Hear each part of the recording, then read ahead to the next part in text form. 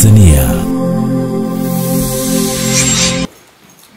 hitimisho la hii ngoma hapa. Na hapa tukija vikao ni vikao vya kumaliza. Niwo si mimi hapa ndo kiongozi wa mkoa. Sasa nasikiliza nini?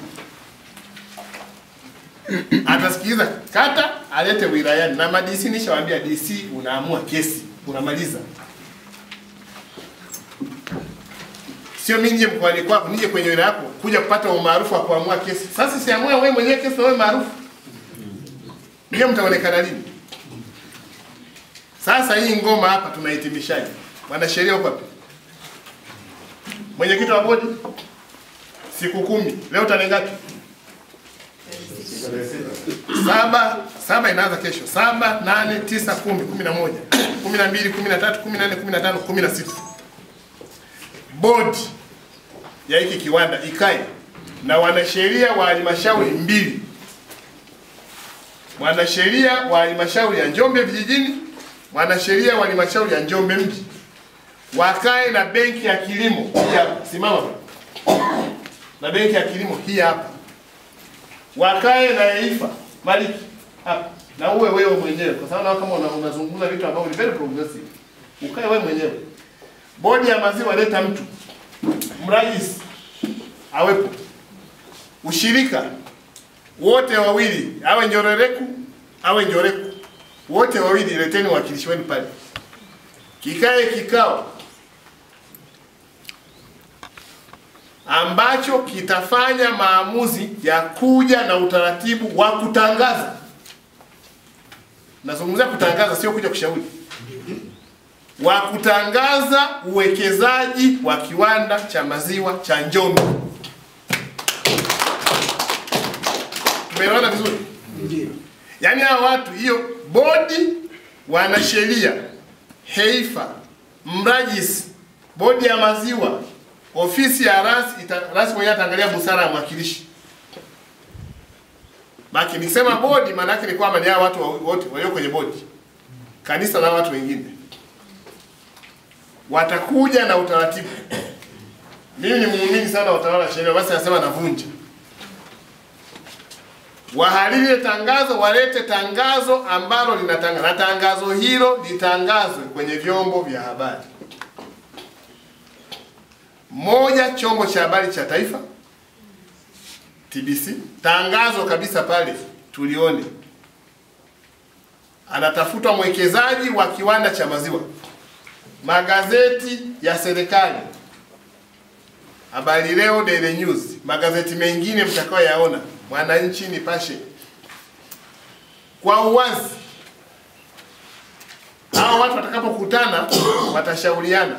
Maana yake tarehe kumi na sita tarehe kumi na nane tutakutana viongozi wachache kwa ajili ya kupokea taarifa. Tarehe ishirini tunaanza kuona matangazo, yaani mwezi wa kumi na moja mwekezaji aje hapa tunafanya mkutano kutambulisha. Sasa mwekezaji atakutana na benki, benki watamweleza na ninyi wote mtakuwepo. Hao wawekezaji mtawa shortlist vipi, mtafanyaje? Ili tunapoenda mwezi wa kumi na moja wa kumi na mbili mvua zinapoanza kunyesha, malisho yanaongezeka, maziwa yanafurika. Huo ndo wakati ambao mnaanza kunyongwa kwenye bei, kwa sababu maziwa ni mengi. Nikiamua mia nne ni mia nne nikiamua mia tatu hamsini mia tatu hamsini ili tunapoenda kwenye msimu wa maziwa mengi tayari hapa kiwanda kinaanza kufanya kazi na kwenye maduka ya Njombe na mashop, ma, mashopping ya huko Dar es Salaam sijui wapi uone product ya Njombe Una, inatia simanzi sana. Unaenda kwenye duka kubwa hakuna hata bidhaa ya mkoa wetu. Kwa mkae mkae na pale kukaa wakisusa, wengine wanakuwa nasema kwanza waisha tufukuza, wanakaa wanaopatikana hapo, yaani kwamba kususa kwa mtu akuzuii kikao. Tumeelewana? Sasa hapo nani bosi? Mrajisi. Wewe unapanga siku, panga kikao, ukumbi ni pale kwenye ule ukumbi wa ni pale, ita pale, wanakuja eh. Lakini ukishamaliza kwa sababu tuna mbunge ambaye ni mpana sana kwenye mambo. Mheshimiwa Dewa akiwepo mkonsult, kama yupo anaweza akaja kushiriki kwenye ile kikao, kwa sababu ni interested party, ni wananchi wake. Na ikitokea mtu amesusa, wala mchukiwa, si mtu kasusa, lakini hicho kikao ni pamoja na kuhakikisha kwamba wanaisa wale waliokuwepo hawatakuwa sehemu ya uwekezaji. Ninaamini kwamba mnapoanza kutengeneza zile taratibu mtajua. Atafute mwekezaji uchwara wala tuhitaji hizi porojo. Kwa nini tunafanya hivyo? Sihitaji mimi serikali kuwa sehemu ya haya mambo.